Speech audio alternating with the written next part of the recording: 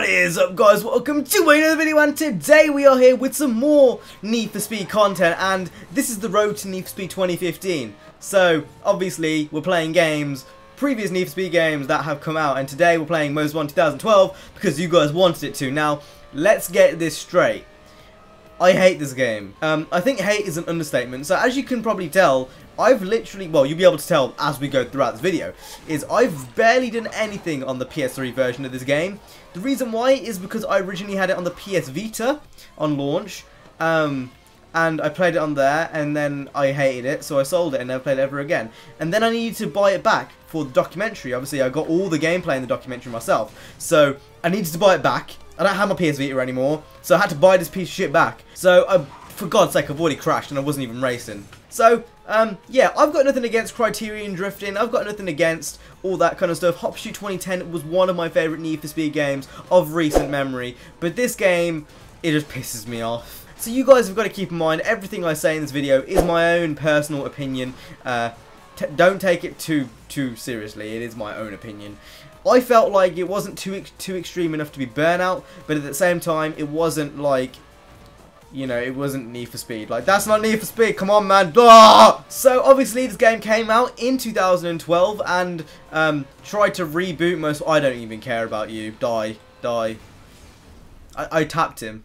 So, yeah, the game came out in 2012. Was try it, it, it attempted to be a reboot of Most Wanted, and it really didn't work although the review scores were very, very good, um, yeah, it, it wasn't very liked by many other people. I mean, it kind of, it, it was a big split. It tore a split between the community, and I think that's the best way to kind of describe it. You either love this game, or hate the game. I hate this game, fucking shit. So, I guess we'll go straight into, an, into a race. Um, I've done one race out of all of these. Let's go ahead and do a medium circuit race. Let's go ahead and start this. I don't care about your shitty cutscene, please skip. you're going to show me a cutscene anyway. Okay, so, um, one of the things I really disliked about this game, for starters, was the DLC. There was a shit ton of DLC, like ridiculous amounts of DLC. Um, so much that I, I, am glad I had the PSV, PS Vita version for the longest time, because that didn't have any DLC.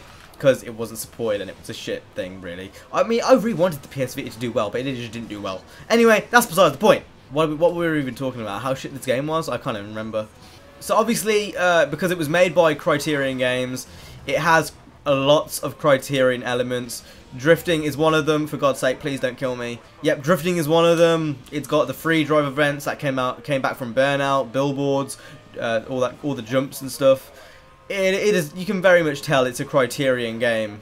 I should never have to take down someone in a Need for Speed game. It's just no. Unless it's Hot Pursuit, then it works. I don't find this fun. Why am I even recording a video on this? I should have gone to Hot Pursuit 2010.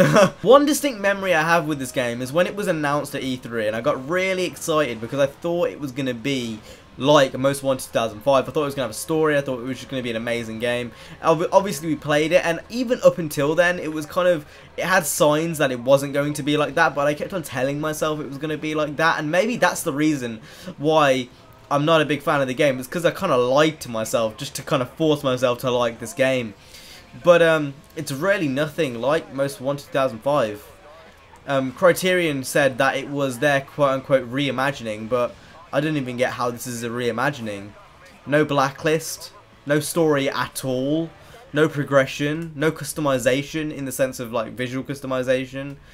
I don't really understand what they meant. If anything, this is more reimagining to Burnout Paradise. It, uh, like, that is literally it. Like, I don't understand the, this game. I don't understand what it's trying to do. Are you trying to be a Burnout game or are you trying to be a Need for Speed game? Make up your fucking mind. We're like six minutes into the raw recording of this video and I'm already swearing.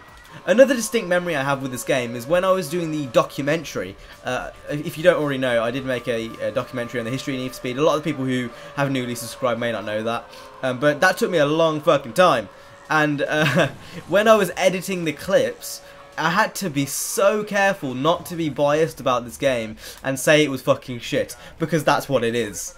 Okay, so what we're going to go ahead and do is change car just so I can show you some of the kind of features in this game if you didn't already know. Like, I know a lot of people who probably watch this video haven't actually played this game. So, you can basically find a car and use it. That's basically the, pr the premise of this game. Is if you see a car and it's got a logo above it, you can use it. So we're going to Porsche. You got the 911, Shelby GT, the Cobra. Um, we got all types of cars here. We'll go into an M3 uh, E92. So there we go. We're just going into the, it's called a jack spot, I believe, uh, and then you can just go into a jack spot. Wait for it to load in. Obviously, it's a PS3 game, so loading times and graphics aren't going to be amazing, amazingly good. There you go, I'm in, I'm in an E92. And that's how this game had no progression. That's what I mean by it had no progression. It was, you could literally do whatever you want, get into any car you want. You didn't have to earn it. At least like in Need for Speed 2015, you kind of have to like earn the cars. In every other Need for Speed game, you have to earn the cars. Um, I guess, oh, we just found another car there. Yay, I'm, I feel so rewarded that I found another car. Let's go ahead and change to that car instead. Oh, look, it's a, it's a Mustang of some sorts set destination. So um, when you actually do an event for the first time, you need to actually drive there. Okay, that, I'm not gonna lie, that's something I like. That's something I miss from like Underground 2 is when you actually had to drive to events and stuff, and um, because it, you kind of learn the map that way. And I guess that is something I kind of miss. Um, but that's really the only thing that this game does right. I hate this game. I'm not sure if you guys can legit tell, but this is genuinely me being annoyed. Like, I don't ever scream when like I don't swear when I don't mean to swear. Whatever I do, it's like I don't fake reactions. I'm legit this annoyed at this game. I really don't like this game. I've there's, there was a reason why I never bought this back. It's because I don't like it. But I did say, in all fairness, I did say the majority vote, and this was the majority vote, sadly. So, okay, just go, just go, just go, just go, just go, just go. Do, do it, do it, just do it. Okay. So now into another race, and another generic burnout race. Let's just take you out. And we'll take you out too. I'm not gonna lie, some of the soundtrack was quite good. Uh, I'm gonna use the copyrighted songs for this because of YOLO. But um, the song you can hear in the background now, I don't know what it's called, but this is a good song. I, I, I do like this song. Uh, I think one thing Need for Speed games get really good generally is the soundtrack. They always seem to get the soundtrack right. So uh, I guess congratulations to Criterion Games. You got one thing right with this game. Well, two things. I guess you got the uh, the navigation thing right earlier on, but that's about it. That's really about it. Alright, so, as we're coming to the end of this race, I want you guys to comment, Oh my fucking lord. I'm gonna cry. I'm actually gonna cry. Uh, I want you guys to comment on what game I should play next. So you have to pick one game. For fuck's sake, leave me alone. So you have to pick one game from 2009 to 2007. Um, any Need for Speed game within that time period, I will play in the next episode of Road to Need for Speed 2015.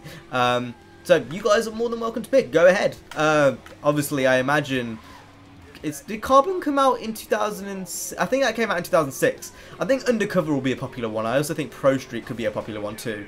That's a very big jump. Well done. But anyway, make sure to go ahead and leave your comments down below. If you enjoyed this video, hit the like, subscribe. There's the finishing line in the distance, and there's policemen's. But anyway, I will see you guys in the next one. Stay safe and peace.